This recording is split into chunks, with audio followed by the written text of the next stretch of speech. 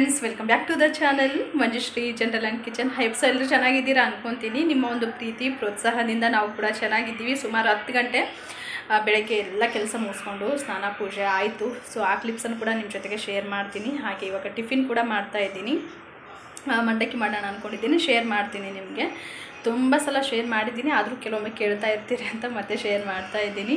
So ನೋಡ್ಕೊಂಬನ್ನಿ ಹಾಗೆ ಹೊಸಬ್ ನೋಡ್ತಾ ಇದ್ದರೆ ಸಬ್ಸ್ಕ್ರೈಬ್ ಮಾಡ್ಕೊಳ್ಳಿ. ಯಾವುದೇ ಕಾರಣಕ್ಕೊಂದು ಲೈಕ್ ಕೊಡೋದನ್ನು ಮರಿಬೇಡಿ. ಎಂಡವರೆಗೂ ನೋಡಿ ಇಷ್ಟ ಆಗಿತ್ತು ಅಂದರೆ ನಿಮ್ಮ ಫ್ರೆಂಡ್ಸ್ ಆ್ಯಂಡ್ ಫ್ಯಾಮಿಲಿಗೆ ಶೇರ್ ಮಾಡಿ ಓಕೆನಾ ಬನ್ನಿ, ವಿಡಿಯೋನ ಶುರು ಮಾಡೋಣ.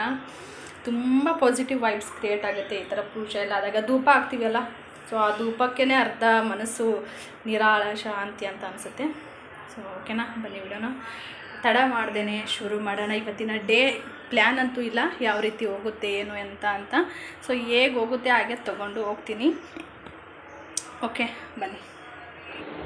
ಒಂದು ನಾಲ್ಕೈದು ದಿನ ಆಯಿತು ವ್ಲಾಗ್ ಮಾಡಿಲ್ಲ. ಡೈಲಿ ಮಾಡ್ತಾಯಿದ್ರೆ ಅದು ಒಂದು ಏನೋ ಚೆನ್ನಾಗಿರುತ್ತೆ. ಒಂದೇ ದಿನ ಬಿಟ್ಟರೆ ಅಯ್ಯೋ, ಎಲ್ಲಿ ಮಾಡೋದು ಬಿಡಪ್ಪ ಅಂತ ಅನಿಸುತ್ತೆ. ನಾವೇ ಮತ್ತೆ ಮೋಟಿವೇಟ್ ಆಗಬೇಕು. ನಾವೇ ವ್ಲಾಗನ್ನು ಶುರು ಮಾಡ್ಕೊಳ್ಬೇಕು. ಯಾಕಂದರೆ ಇವಾಗ ನಾವು ಯೂಟ್ಯೂಬ್ ಚಾನಲ್ ಸ್ಟಾರ್ಟ್ ಮಾಡಿದ್ದೀವಿ ಅಂದಮೇಲೆ ಅದು ಏನೇ ಬರಲಿ ತೊಗೊಂಡು ಹೋಗಲೇಬೇಕು ಅಲ್ವಾ? ಸೊ ಹಾಗಾಗಿ ಇವಾಗ ನಾನು ದೇವರ ಸಾಮಾನುಗಳನ್ನೆಲ್ಲ ತೊಳೆದ್ಬಿಟ್ಟು ಪೂಜೆ ಮಾಡ್ತಾಯಿದ್ದೀನಿ ನಾನು ಜಾಸ್ತಿ ಬೆಳ್ಳಿ ದೇವರನ್ನು ತೆಗೆಯಲ್ಲ ದೀಪಾವಳಿಗೆ ಮತ್ತು ಏನಾದರೂ ವಿಶೇಷ ಇದ್ದಾಗ ಮಾತ್ರ ಬೆಳ್ಳಿ ಸಾ, ಬೆಳ್ಳಿ ಗಣೇಶ, ಲಕ್ಷ್ಮಿ ಅಷ್ಟೇ, ಅಷ್ಟನ್ನು ನಾನು ಪೂಜೆ ಮಾಡ್ತೀನಿ. ಎವ್ರಿ ಡೇ ಅಂತ ನಾನೇನು ಬೆಳ್ಳಿ ಪಾ, ಅಂದರೆ ದೇವರ ಸಾಮಾನುಗಳನ್ನು ಬಳಸಲ್ಲ. ಇವಾಗ ನಾನು ಕಳಶಕ್ಕೆ ರೆಡಿ ಮಾಡ್ತಾಯಿದ್ದೀನಿ ಎಲೆ ಒಂದು ಸ್ವಲ್ಪ ಇತ್ತೀಚೆಗೆ ಅಷ್ಟೊಂದು ಚೆನ್ನಾಗಿ ಬರಲ್ಲ.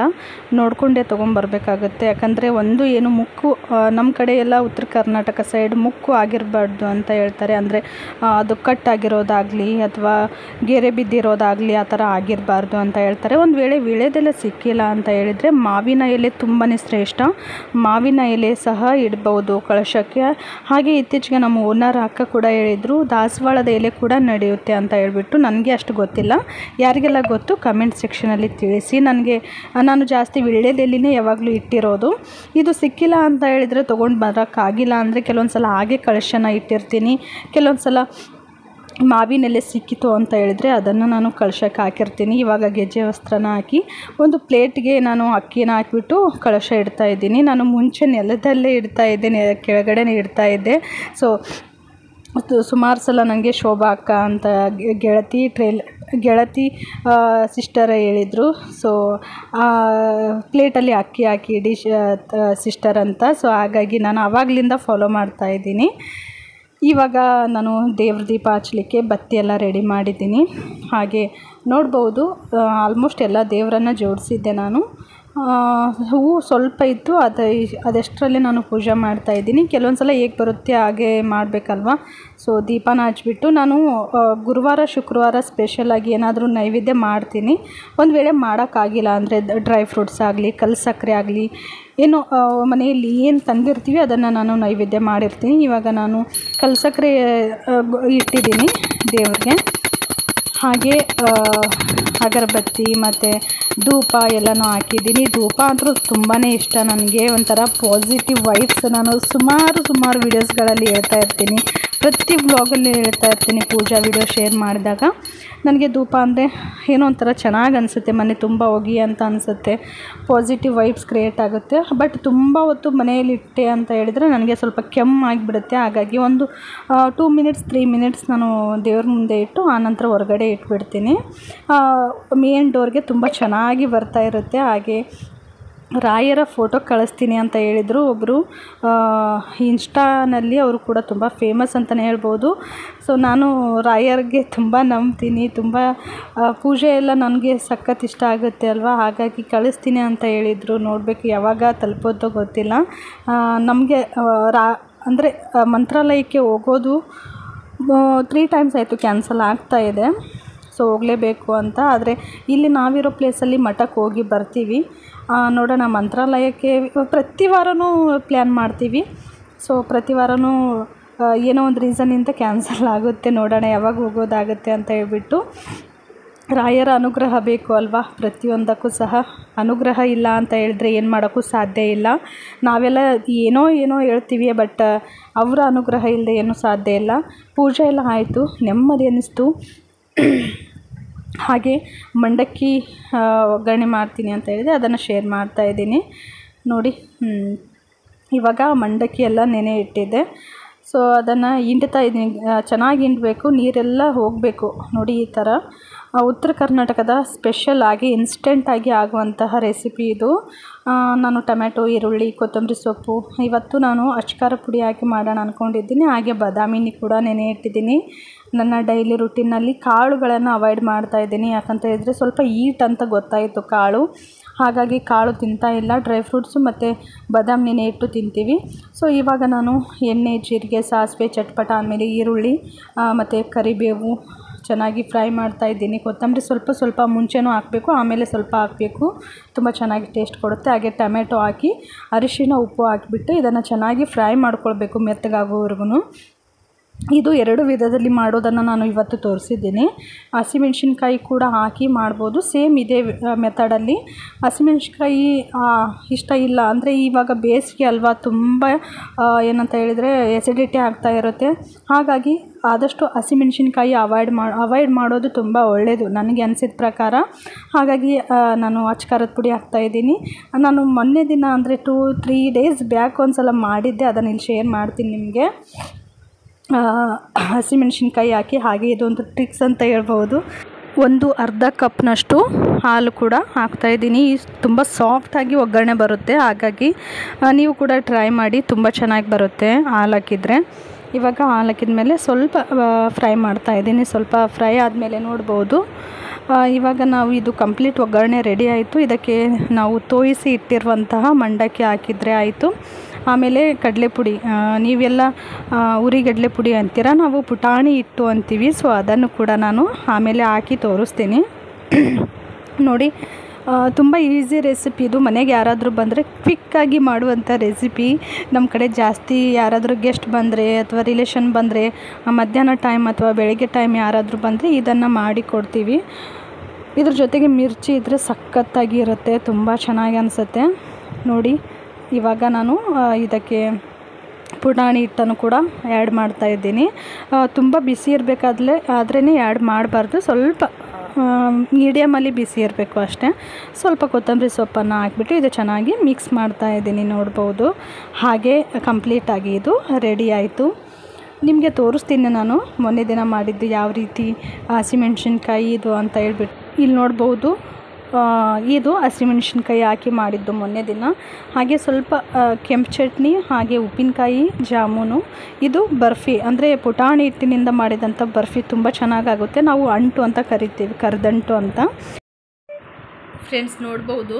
ಕರ್ದಂಟು ಮಾಡಿದ್ದೆ. ಇದು ಉತ್ತರ ಕರ್ನಾಟಕದ ಸ್ಪೆಷಲ್ ರೆಸಿಪಿ ಅಂತಲೇ ಹೇಳ್ಬೋದು. ಸೊ ಅದನ್ನು ತಿಂತಾ ಇದ್ದೀನಿ ಇವಾಗ. ಕರೆಕ್ಟಾಗಿ ಬಂದಿಲ್ಲ. ಯಾಕಂದರೆ ಫಸ್ಟ್ ಟೈಮ್ ನಾನು ಟ್ರೈ ಮಾಡಿರೋದು ಇದು. ಯಾವತ್ತೂ ಮಾಡಿಲ್ಲ. ಸೊ ಹಾಗಾಗಿ ಕೆಡ್ತಿದ್ದು ಸರಿಯಾಗಿ ಬರಲಿಲ್ಲ, ಬಟ್ ಟೇಸ್ಟಲ್ಲಿ ಮಾತ್ರ ಯಾವುದೇ ವ್ಯತ್ಯಾಸ ಇಲ್ಲ. ಪರ್ಫೆಕ್ಟಾಗಿ ಟೇಸ್ಟ್ ಬಂದಿದೆ. ಬಟ್ ಶೇಪ್ ಬಂದಿಲ್ಲ ಅಷ್ಟೇ. ನೋಡಿ, ನಿಮಗೆ ಸುಮಾರು ಸಲ ತೋರಿಸಿದ್ದೀನಿ, ಊರಿಂದ ತೊಗೊಂಡು ಬಂದಾಗ ಯಾವ ರೀತಿ ಇರುತ್ತೆ ಇದು ಅಂತ ಹೇಳ್ಬಿಟ್ಟು. ನನಗೆ ಸ್ವಲ್ಪ ಅದು ಹಣ ಎಲ್ಲ ಗೊತ್ತಾಗಲಿಲ್ಲ. ಹಾಗಾಗಿ ಸ್ವಲ್ಪ ಈ ಥರ ಶೇಪ್ ಎಲ್ಲ ಬರಲಿಲ್ಲ ಅಷ್ಟು ನೀಟಾಗಿ. ಟೇಸ್ಟ್ ಮಾತ್ರ ಸಖತ್ತಾಗಿದೆ. ಈ ರೆಸಿಪಿ ನೋಡೋಣ, ಯಾವಾಗಲಾದರೂ ಊರಿಗೆ ಹೋದಾಗ ಶೇರ್ ಮಾಡ್ತೀನಿ ನಿಮಗೆ. ಹಾಗೆ ನಾವು ಇವತ್ತು ಸ್ವಲ್ಪ ಹೊರಗಡೆ ಹೋಗ್ತಾ ಇದ್ದೀವಿ, ರಾಯರ ಮಠಕ್ಕೆ. ಹಾಗಾಗಿ ಟೀ ಎಲ್ಲಿ ಮಾಡೋದು ಟೀ ಎಲ್ಲ ಬೇಡ, ಇವಾಗ ಬಿಸಿಲು ಬೇರೆ ಅಲ್ವಾ ಅಂತ ಮ್ಯಾಂಗೋ ಮಿಲ್ಕ್ ಶೇಕ್ ಮಾಡಿದ್ದೆ. ತುಂಬ ಚೆನ್ನಾಗಾಗಿತ್ತು ನೋಡಿದ್ರೇ ಗೊತ್ತಾಗುತ್ತೆ. ಇದರಲ್ಲಿನೇ ನಾನು ಡೈರೆಕ್ಟಾಗಿ ಡ್ರೈ ಫ್ರೂಟ್ಸ್ ಎಲ್ಲ ಹಾಕಿದ್ದೀನಿ. ಮೇಲ್ಗಡೆ ಗಾರ್ನಿಷ್ಗೆ ಅಂತ ಏನೂ ಹಾಕಿಲ್ಲ. ತುಂಬಾ ಚೆನ್ನಾಗಾಗಿತ್ತು ಮಾತ್ರ. ಫ್ರೆಂಡ್ಸ್ ಊಟ ಎಲ್ಲ ಆಯಿತು. ಊಟ ಆದಮೇಲೆ ಇವಾಗ ಬ್ಲಾಗ್ ಕಂಟಿನ್ಯೂ ಮಾಡ್ತಾ ಇದ್ದೀನಿ. ಸೊ ಅದೆಲ್ಲನೂ ಶೇರ್ ಮಾಡೋಕ್ಕೆ. ಫ್ರೆಂಡ್ಸ್ ಮಧ್ಯಾಹ್ನದ ಊಟ ಆಯಿತು. ಸೊ ಅಡುಗೆ ಎಲ್ಲ ಶೇರ್ ಮಾಡಿದೆ ರೆಸಿಪಿ ನಾನು. ಊಟ ಆದಮೇಲೆ ಬ್ಲಾಗ್ ಕಂಟಿನ್ಯೂ ಮಾಡಲಿಲ್ಲ. ಸುಮಾರು ಆರು ಗಂಟೆ ಇವಾಗ ಸಾಯಂಕಾಲ. ಇವಾಗ ಬ್ಲಾಗನ್ನು ಸಾರಿ ಕಂಟಿನ್ಯೂ ಮಾಡ್ತಾ ಇದ್ದೀನಿ. ಸ್ವಲ್ಪ ಹೊರಗಡೆ ಹೋಗ್ತಾ ಇದ್ವಿ. ಹಾಗೆ ನೋಡೋಣ, ಸಾಧ್ಯವಾದರೆ ಶೇರ್ ಮಾಡಿರ್ತೀನಿ ನಿಮ್ಮ ಜೊತೆಗೆ. ಇಲ್ಲ ಅಂದರೆ ಮತ್ತೆ ಬಂದ ಮೇಲೆ ಸಿಗ್ತೀನಿ.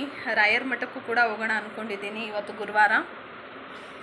ಸೊ ನೋಡೋಣ ಏನಾಗುತ್ತೆ ಅಂತ. ಶೇರ್ ಮಾಡೋ ಆಗಿತ್ತಂದರೆ ಖಂಡಿತ ಶೇರ್ ಮಾಡಿರ್ತೀನಿ. ಇವಾಗ ಹಸ್ಬೆಂಡ್ ಕೂಡ ರೆಡಿಯಾಗಿ ಕುಂತಿದ್ದಾರೆ ಇಬ್ಬರು ಸೇರಿ ಹೋಗಬೇಕು. ಹೋಗೋಣ.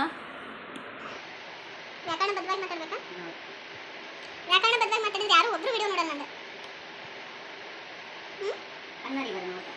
ಕನ್ನಡನೇ ಮಾತಾಡ್ತೀನಲ್ಲ ಒಂದು ಇಂಗ್ಲಿಷ್ ಪದ ಬಳಸೇ ಇಲ್ಲ ನನ್ನ ಬ್ಲಾಗ್ ನಾನು ಜಾಸ್ತಿ ನಾನು ಇಂಗ್ಲೀಷ್ ಪದ ಬಳಸಲೇ ಇಲ್ಲ. ಯಾವಾಗ? ಏನಂತ? ಆಂಗ್ಲ ಭಾಷೆ ಬಳಸೋದಿಲ್ಲ ಆ, ಆಂಗ್ಲ ಭಾಷೆ ಅಂತ ಕೂಡ ನೆನಪಾಯ್ತು ನನಗೆ. ಒಂದು ಐದಾರು ತಿಂಗಳಿಂದ ಇಬ್ರು ಸೇರಿ ಒಂದು ವಿಡಿಯೋ ಮಾಡಿದ್ವಿ. ಕನ್ನಡದಾಗೆ ಮಾತಾಡಬೇಕು ಅಂತ ಚಾಲೆಂಜ್ ಕೊಟ್ಟಿದ್ರು. ಆಮೇಲೆ ಕನ್ನಡದಲ್ಲಿ ಕಂಪ್ಲೀಟ್ ಮಾತಾಡೋಕ್ಕಾಗಲಿಲ್ಲ ಸೊ ಅದರಲ್ಲಿ ಸೋತಿದ್ದೆ ನಾನು. ಆ ವಿಡಿಯೋ ನಾನು ಎನ್ ಮೇಲೆ ಹಾಕಿರ್ತೀನಿ ನೋಡಿ ತುಂಬ ಅಂದ್ರೆ ತುಂಬ ಫನ್ನಿ ವಿಡಿಯೋ ಅಂತ ಹೇಳ್ಬೋದು. ಓಕೆ ಹೋಗಿ ಬರ್ತೀವಿ. ಹೋಗೋಣ ನೋಡಿ. ಹಲೋ ಫ್ರೆಂಡ್ಸ್ ನೀವು ಸಹ ರಾಯರ ದರ್ಶನ ತಗೊಳ್ಳಿ. ಏನೋ ಒಂಥರ ನೆಮ್ಮದಿ ಅಂತ ಅನಿಸುತ್ತೆ. ಬೃಂದಾವನದ ಮುಂದೆ ನಿಂತಾಗ ನಮ್ಮ ಏನೇ ಕಷ್ಟಗಳಿದ್ರೂ ಸಹ ಯಾರ ಮುಂದೆನೂ ಹೇಳ್ಕೊಳ್ದೇನೆ ರಾಯರ ಮುಂದೆ ಹೇಳ್ಕೊಳ್ಬೇಕು. ಸೊ ಎಲ್ಲನೂ ಅವರೇ ನೋಡ್ಕೊತಾರೆ ಅಂತ ನನ್ನ ಅನಿಸಿಕೆ. ನೋಡಿ ಲಾಸ್ಟ್ ಟೈಮ್ ಹೋದಾಗ ನಾನು ಜಸ್ಟ್ ಒಂದು ಕ್ಲಿಪ್ಸನ್ನು ಶೇರ್ ಮಾಡಿದ್ದೆ ರಾಯರ ಮಠದ್ದು. ಆಮೇಲೆ ನಂದು ಆ, ಹೆಜ್ಜೆ ನಮಸ್ಕಾರ ಹಾಕೊಳ್ಳೋದಿತ್ತು ಬಟ್ ಅಲ್ಲಿ ತುಂಬ ರಶ್ ಇತ್ತು. ಯಾಕಂದರೆ ಆ ನರಸಿಂಹ ಸ್ವಾಮಿ ಜಯಂತಿ ಇತ್ತಲ್ವ ಅವತ್ತು ಹೋಗಿದ್ದು ನಾವು. ಅದಕ್ಕೆ ನೆಕ್ಸ್ಟ್ ವೀಕ್ ಹಾಕೋಣ ಅಂತ ಹಾಗೆ ಬಂದೆ. ಬಂದಮೇಲೆ ನಾನು ವೆಜ್ ದಮ್ ಬಿರಿಯಾನಿ ಮಾಡ್ತಾ ಇದ್ದೀನಿ. ತುಂಬ ದಿನ ಆಯಿತು ವೆಜ್ ದಮ್ ಬಿರಿಯಾನಿ ತಿಂದು. ಹಾಗಾಗಿ ತುಂಬಾ ಟೆಂಪ್ಟ್ ಆಗ್ತಾಯಿತ್ತು ಮಾಡಬೇಕು ಅಂತ. ಸೊ ಸ್ವಲ್ಪ ಟೈಮ್ ತೊಗೊಳುತ್ತೆ ಬಟ್ ಪರವಾಗಿಲ್ಲ. ಟೇಸ್ಟ್ ಮಾತ್ರ ಅಲ್ಟಿಮೇಟ್ ಇರುತ್ತೆ. ಎಲ್ಲ ವೆಜಿಟೇಬಲ್ಸ್ ಕಟ್ ಮಾಡಿ ಎಣ್ಣೆಗೆ, ಜೀರಿಗೆ ಸ್ವಲ್ಪ ಸಾಸಿವೆ ಹಾಕಿದ್ದೀನಿ. ಆಮೇಲೆ ಎಲ್ಲ ಕಟ್ ಮಾಡಿರೋ ತರಕಾರಿ. ಇದು ಕಂಪ್ಲೀಟ್ ಶೇರ್ ಮಾಡಿ, ನೋಡೋಣ ಎಷ್ಟಾಗುತ್ತೋ ಅಷ್ಟು ಶೇರ್ ಮಾಡ್ತೀನಿ. ಲಾಸ್ಟ್ ವಿಡಿಯೋದಲ್ಲಿ ಕಂಪ್ಲೀಟ್ ವೆಜ್ ದಮ್ ಬಿರಿಯಾನಿ ಮಾಡೋದನ್ನು ತೋರಿಸಿದ್ದೀನಿ. ಇವಾಗ ವೆಜಿಟೇಬಲ್ಸ್ ಚೆನ್ನಾಗಿ ಫ್ರೈ ಮಾಡ್ಕೊಳ್ಳೋಣ. ನಿಜ ಹೇಳಬೇಕು ಅಂತ ಹೇಳಿದರೆ ಹೆಣ್ಮಕ್ಳಿಗೆ ಒಂದು ಒಂದು ಗಂಟೆನೂ ಅವರು ಫ್ರೀ ಆಗಿರಲ್ಲ. ನಾನು ಜನ್ರಲಾಗಿ ಹೇಳ್ತಾ ಇದ್ದೀನಿ. ಆದರೂ ಸಹ ಡ್ಯೂಟಿಗೆ ಹೋಗಿ ಬಂದಮೇಲೆ ಹಸ್ಬೆಂಡ್ಗಳು ಕೇಳೋದು ಒಂದೇ ಇಷ್ಟೊತ್ತು ಮನೆಯಲ್ಲಿ ಇರ್ತೀಯಲ್ಲ, ಏನು ಮಾಡ್ತೀಯಾ ಅಂತ ಕೇಳೋದು ಕ್ವಶನ್ ಅದು. ಒಂದು ಕ್ವಶನ್ ಮಾರ್ಕ್ ಎಲ್ಲರ ತಲೆಯಲ್ಲೂ ಬರುತ್ತೆ. ಸೊ ಏನು ಮಾಡ್ತಾರೆ ಅನ್ನೋದಕ್ಕೆ ಎಲ್ಲರೂ ನಮ್ಮ ಥರ ವ್ಲಾಗ್ ಮಾಡ್ತಿರಲ್ಲ ಅಲ್ವಾ? ಸೊ ನಮ್ಮ ಥರ ವ್ಲಾಗ್ ಮಾಡಿದರೆ ಇಪ್ಪತ್ನಾಲ್ಕು ಗಂಟೆನೂ ಒಬ್ಬ ಈ ಗೃಹಿಣಿ ಏನು ಮಾಡ್ತಾಳೆ ಮನೆಯಲ್ಲಿ ಅನ್ನೋದು ಗೊತ್ತಾಗುತ್ತೆ. ಸುಮ್ಮನೆ ಮಾತಾಡೋದಲ್ಲ, ಅವ್ರಿಗೂ ಕೂಡ ಮನಸ್ಸಿರುತ್ತೆ ಅಲ್ವಾ? ಎಷ್ಟು ಕೆಲಸಗಳಿರುತ್ತೆ ಮನೆಯಲ್ಲಿ. ಅವರು ಗಂಡ್ಮಕ್ಳು ಎದ್ದುಬಿಟ್ಟು ಸ್ನಾನ ಮಾಡಿ ಟಿಫಿನ್ ಮಾಡಿಬಿಟ್ಟು ಆಫೀಸ್ಗೆ ಹೋಗೋದು ಒಂದು ಬಿಟ್ಟರೆ ಅವ್ರಿಗೆ ಆಫೀಸ್ನಲ್ಲಿ ಕುಂತೆ ಕೆಲಸ ಮಾಡೋದಿರುತ್ತೆ, ಓಡಾಡಿ ನಿಂತ್ಕೊಂಡು ಎಲ್ಲ ಕೆಲಸ ಮಾಡೋದಿರಲ್ಲ.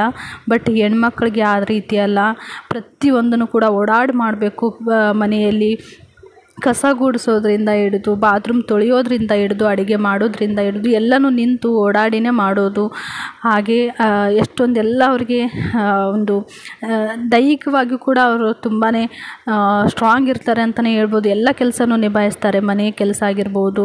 ಹಾಗೆ ಮಾನಸಿಕವಾಗಿ, ದೈಹಿಕವಾಗಿ ಎರಡೂ ಕೂಡ ಸ್ಟ್ರಾಂಗ್ ಇರ್ತಾರೆ ಹೆಣ್ಮಕ್ಳು. ಹೆಂಗಂತ ಹೇಳಿದರೆ ಈ ನಾಳೆ ಏನು ಮಾಡಬೇಕಪ್ಪ? ಟಿಫಿನ್ ಏನು ಮಾಡಬೇಕು? ಅಡುಗೆ ಏನು ಮಾಡಬೇಕು? ಲಂಚ್ ಬಾಕ್ಸ್ಗೆ ಏನು ಮಾಡಬೇಕು? ಅಂತ ಪ್ರಿಪ್ರೇ ಪ್ರಿಪೇರ್ ಮಾಡ್ಕೊಳ್ಳೋದಾಗಿರಲಿ, ಬೆಳಿಗ್ಗೆ ಎಲ್ಲರಿಗಿಂತ ಬೇಗ ಎದ್ದು ಅಡುಗೆ ಮಾಡೋದಾಗಿರಲಿ ಪ್ರತಿಯೊಂದನ್ನು ಅವರು ಒಂದು ಮೈಂಡ್ಸೆಟ್ ಇಟ್ಕೊಂಡಿನೇ ಕೆಲಸ ಮಾಡ್ತಿರ್ತಾರೆ.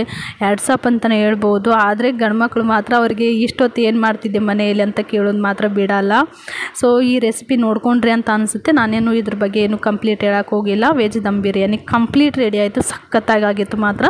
ಇದು, ರಾಯ್ತ ಮಾಡಿದ್ದೆ. ಎಲ್ಲ ವೆಜಿಟೇಬಲ್ಸ್ ಅಂದರೆ ಸೌತೆಕಾಯಿ, ಕ್ಯಾರೆಟು, ಈರುಳ್ಳಿ, ಕೊತ್ತಂಬರಿ ಸೊಪ್ಪು ಹಾಕಿ ಮೊಸರು ರಾಯ್ತ ಮಾಡಿದ್ದೆ. ಒಂಥರ ಕೋಸಂಬರಿ ಥರ ಅಂತಲೇ ಹೇಳ್ಬೋದು. ಇವಾಗ ತಂಪಲ್ವ ಬಿಸಿಗೆ, ಬೇಸಿಗೆಗೆ ಸಾರಿ ಬೇಸಿಗೆಗೆ ಸ್ವಲ್ಪ ತಂಪು ತಂಪಾಗಿ ಚೆನ್ನಾಗಿರುತ್ತೆ. ರೆಡಿ ಆಯಿತು, ಊಟ ಕೂಡ ಆಯಿತು ನಮ್ಮದು ಫ್ರೆಂಡ್ಸ್ ನೋಡ್ಕೊಂಬಂದ್ರಿ ಅಲ್ವಾ? ಬೆಳಗ್ಗೆಯಿಂದ ಇಲ್ಲಿವರೆಗೂ ಒಂಬತ್ತು ಗಂಟೆ ಇವಾಗ. ಊಟ ಆಯಿತು ವೆಜ್ ಬಿರಿಯಾನಿ ಸಖತ್ತಾಗಿತ್ತು ಸೊ ಆ ಥರ ಏನಾದರೂ ಜಾಸ್ತಿ ಊಟ ಚೆನ್ನಾಗಿರೋ ಊಟ ಮಾಡಿದಾಗ ಎಲೆ ಹಾಕೊಂಡ್ರೆ ತುಂಬ ಚೆನ್ನಾಗಿರುತ್ತೆ. ಡೈಜೆಷನ್ ಕೂಡ ಚೆನ್ನಾಗಾಗುತ್ತೆ ಅಂತ ಹೇಳ್ತಾರೆ. ಹಾಗೆ ಐರನ್ ಕಂಟೆಂಟ್ ಕೂಡ ತುಂಬ ಚೆನ್ನಾಗಿರುತ್ತೆ. ಇವತ್ತು ತುಂಬ ದಿನಗಳ ನಂತರ ಎಲೆ ತಿಂತಾ ಇದ್ದೀನಿ. ತುಂಬಾ ಚೆನ್ನಾಗಾಗಿತ್ತು. ಆ ರೆಸಿಪಿ ನಾನು last six months back recipe share ಮಾಡಿದ್ದೆ ನಾನು. ಸೊ ನೋಡಿ ಸ್ಕ್ರೀನಲ್ಲಿ ಲಿಂಕನ್ನು ಕೊಟ್ಟಿರ್ತೀನಿ ವೆಜ್ ದಮ್ ಬಿರಿಯಾನಿದು. ಸೊ ಹಾಗೆ ಈ ವಿಡಿಯೋನು ಕೂಡ ಇಲ್ಲಿಗೆ ಎಂಡ್ ಮಾಡ್ತೀನಿ. ನೆಕ್ಸ್ಟ್ ವ್ಲಾಗಲ್ಲಿ ಸಿಗ್ತೀನಿ. ಅಲ್ಲಿವರೆಗೂ ಎಲ್ಲರೂ ಖುಷಿಯಾಗಿರಿ. ಈ ವ್ಲಾಗ್ ಹೇಗೆ ಅನ್ನಿಸ್ತು ಅಂತ ತಪ್ಪದೆ ಕಮೆಂಟ್ ಸೆಕ್ಷನಲ್ಲಿ ತಿಳಿಸಿ. ಎಂಡ್ವರೆಗೂ ನೋಡಿ ಇಷ್ಟ ಆಗಿತ್ತು ಅಂದರೆ ನಿಮ್ಮ ಫ್ರೆಂಡ್ಸ್ ಆ್ಯಂಡ್ ಫ್ಯಾಮ್ಲಿಗೆ ಶೇರ್ ಮಾಡಿ. ಹೊಸದು ನೋಡ್ತಾ ಇದ್ದರೆ ದಯವಿಟ್ಟು ಸಬ್ಸ್ಕ್ರೈಬ್ ಮಾಡ್ಕೊಳ್ಳಿ ಲೈಕ್ ಕೊಡೋದನ್ನು ಮರಿಬೇಡಿ. Thank for the watching thank you